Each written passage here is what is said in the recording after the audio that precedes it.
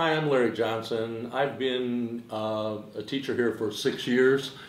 Um, I teach a variety of writing and other communications subjects in the um, BSBA, sometimes in the IEP and in the MBA programs. I'm from Iowa in the United States and I have taught at about six colleges and universities there and here. Um, mostly uh, writing because my my MA is from the University of Iowa in journalism and my BA is from the University of Iowa in English.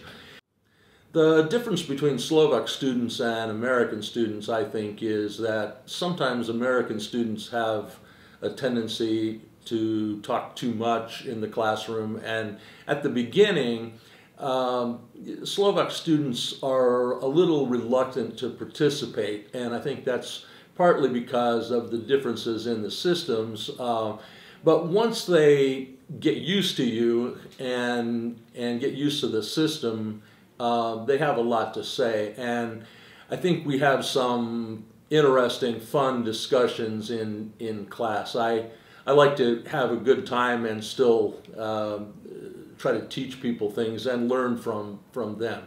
I hear from a lot of graduates that one reason they're glad they came to City University is because of the presentation skills, the oral communication and written communication skills they gained while they were here.